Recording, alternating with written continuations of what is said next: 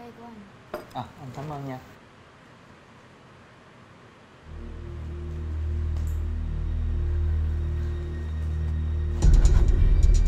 Ủa? Em sao vậy? Trời ơi người nóng quá nè. Sốt rồi. Ừ. thôi để lấy thuốc cho em uống nha. Em không sao đâu. Trời ơi người em nóng vậy mà. Anh đi làm việc tiếp đi anh Vũ. Em ngồi nghỉ xíu là khỏe à. Ồ không được đâu. Để em lấy thuốc Dạ. cho. Hai người đang làm gì vậy? Hả? Anh biến qua đây coi Cái con khốn nạn này. Tôi tưởng đâu mày hiền lành nai tơ thì ra mày là hồ ly tinh hả? em. Tao thấy mày tội nghiệp. Cho về đây làm giúp việc. Rồi sau lưng tao mày đi. Rồi quánh chồng tao vậy đó hả? Đúng là nuôi ông tay áo mà. Em à hiểu lầm rồi. Linh đem cà phê ra cho anh. Rồi hơn chón té anh chỉ qua đỡ thôi à. Không có làm gì hết á. Cho hắn té? Đỡ? Đỡ nhau mà sát rạc như vậy hả? Rồi trao nhau ánh mắt thâm tình như vậy hả? Anh tưởng tôi ngu lắm hả? em không có dám làm cái chuyện bậy bạ đó đâu. Cô khỏi giải thích. Cô làm như tôi không có con mắt vậy đó. Chồng tôi ở đâu cô xà nẹo tới đó. Cô định rùa quánh chồng tôi lâu lắm rồi chứ gì. Hay là anh cũng bị sập bẫy của nó rồi? Nói tôi nghe. Hai người lén phép bao nhiêu lâu rồi? Hả? Em em bớt suy diễn lung tung đi. Bớt ghen bậy bạ lại đi. Anh và linh không có gì hết. Suy diễn? Tôi bắt tại trận như vậy mà còn kêu suy diễn? Em bớt Thôi ghen- được rồi. Anh tôi sẽ xử lý sao? Còn cô Đi vô trong Cuốn gói khỏi nhà tôi. Lẹ Đừng để tôi nói tiếng thứ hai. Em linh đang sốt như vậy em đuổi linh ra ngoài lỡ mệnh hệ gì rồi em chịu trách nhiệm đó. Ủa Nói không có gì sao binh chập chập vậy? Nè Có tội gì thì tôi chịu. Còn cô? Cút chị ơi em đang nghĩ chị anh chứ đừng có đuổi em à. Em rất là cần công việc này. Em phải kiếm tiền gửi cho mẹ dưới quê em cần chi phí để phẫu thuật à chị ơi chị đừng có đuổi em Bớt diễn. Đừng có giả cái cảnh nghèo khổ Cho tôi thương tình rồi. Ở đây tiếp tục làm Rồi dụ dỗ chồng tôi hả Không có đâu Diễm Xưa lắm rồi. Cút em. Tôi nói cô Đi cho tôi.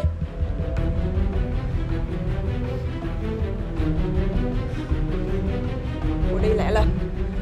Bước ra khỏi cái nhà này coi tôi em không em sao vậy sao vậy thôi?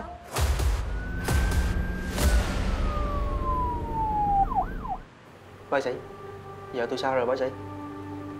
Dạ anh bị thiếu máu tuyển sinh. Bây giờ phải cấy tủy gấp mới được. Nếu không sẽ nguy hiểm đến tính mạng. Nhưng mà vấn đề hiện tại Phải tìm nguồn tủy thích hợp.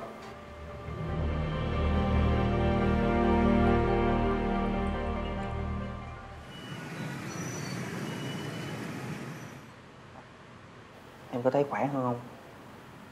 Dạ em khỏe hơn nhiều rồi. Ừ. Chị. Bác sĩ. Cô thấy thế nào rồi? Có còn à, đau ở đâu nữa không? dạ cảm ơn bác sĩ nhiều. Tôi thấy khỏe nhiều lắm. Không còn đau đớn nữa. Chúc mừng cô. Nếu mà như vậy á Là cái nguồn tủy đó thích hợp rất nhanh với lại cơ thể của cô rồi đó à, Nhưng mà cô phải nhớ nha Phải tịnh dưỡng nhiều thêm. Như vậy á, sẽ sớm bình phục thôi. Ừm, À mà bác sĩ ơi Bác sĩ có thể cho tôi biết Ai là người hiến tỷ cho tôi không? Người đó Cả anh đây và cô đều biết hết. Mời vào.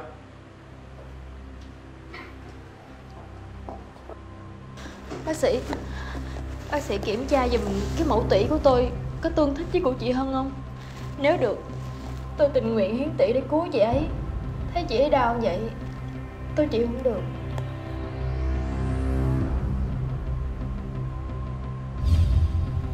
Thật may mắn á, là nguồn tỷ mới thích hợp, Nên ca phẫu thuật mới được tiến hành kịp thời và thành công đến như vậy.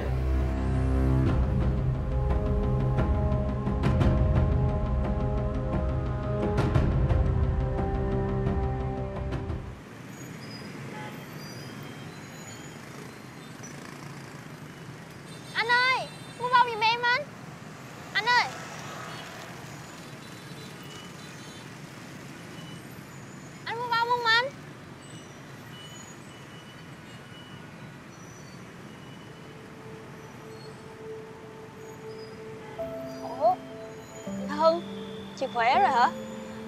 Vậy thì tốt quá. Linh Chị Chị xin lỗi em nha. Trước giờ chị đối xử tệ với em Mà em vẫn cứu chị Thiệt cái ơn này chị không biết trả làm sao luôn á. Em Em tha thứ cho chị nha. Em không có để bụng mấy chuyện đó đâu chị. Cuộc đời con người vô thường lắm. Giúp được ai là em giúp à. Ờ, Em cũng mừng là chị khỏe lại rồi Chị cảm ơn em nhiều lắm á Linh. À Hay là Em đừng đi bán bông nữa. Em về làm cho chị được không? Chị mới mở shop quần áo á Đang thiếu người quản lý. Em làm cho chị đi. Dạ, dạ thôi không cần đâu chị. Cuộc sống của em bây giờ cũng đủ ổn rồi. Ổn cái gì mà ổn? Nhìn em kìa Đi bán bông như vậy làm sao mà ổn định được?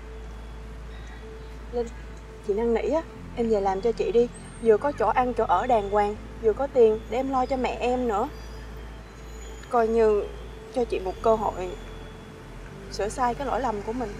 Được không em? Nha. Chị cảm ơn em nhiều lắm.